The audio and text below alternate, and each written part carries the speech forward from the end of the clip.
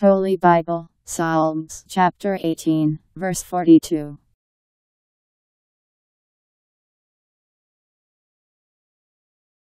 Then they were crushed as small as dust before the wind, they were drained out like the waste of the streets.